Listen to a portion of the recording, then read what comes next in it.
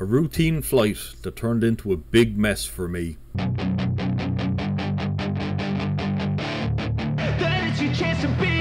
Hey kid, don't ever let them get inside your head. They'll tell you what to do in life instead. I always have a heavy heart on my last day in Thailand, and this was it again. Time to pack up and go home. Life towards regret. And we're back in Suvarnabhumi Airport, which looks great at the minute. Everywhere is clean and tidy. I them all to push me to my best. I am having an issue with Qatar Airlines at the minute, see above, but I will try and give a fair review for this flight. Let me show you a few things in the airport.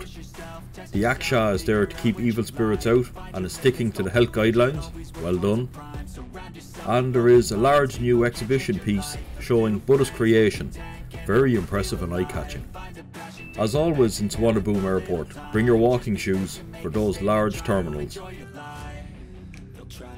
Today we are flying on my favourite, the A380. We are in 57k for this flight, which was on the lower level of our flight QR831. All was going well and we were ready to leave 30 minutes after our scheduled time. We got out onto the tarmac and headed for the runway, but there was issues in the cockpit. We ended up back at the airport for 3 hours due to a technical fault. After sitting on the plane for almost 4 hours we finally got going, at long last. The legroom was good and there was plenty of storage space in the seat in front.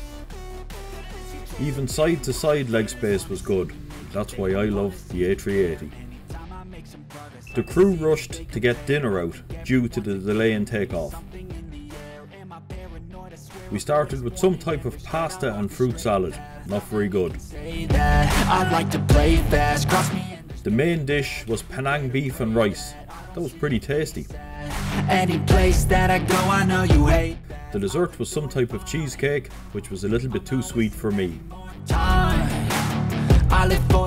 A quick inspection of the very small toilet, nasty, just nasty, and it smelled pretty bad. The one area where Qatar is above average is its entertainment system.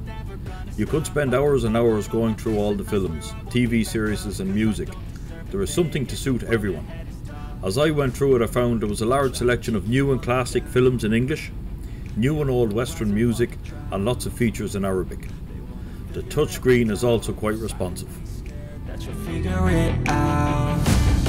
I'll make it look like I'm losing. Won't bother hiding my bruises. And when they finally think you're I settled for the 1935 version of Mutiny on the Bounty, which was great. After almost 11 hours sitting on the plane, I was looking forward to disembarking and running for my next flight. The landing was smooth, but we arrived in Doha three hours late. I had missed my connector to Dublin and I had to spend the night in Doha airport, which sucked. The ground staff took ages to help me rebook on a new flight, and I lost my business class seat as there were none available on the next flight. All in all, a very disappointing experience for Qatar, and at the time of making this video, I'm still trying to get a refund for the business class seat they could not supply due to our late flight leaving Bangkok. I love flying, but it can be very trying at times. So overall, this Qatar flight was not very good, and trying to deal with their customer service or complete lack of customer service after the event has convinced me I will never fly with them again. I will battle on to try and get the money they owe me. Wish me well. Let me know in the comments if you've had good or bad experiences with Qatar.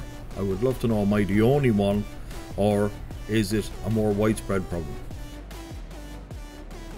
Don't be shy guys, leave comments and you can also link your videos into the comment section.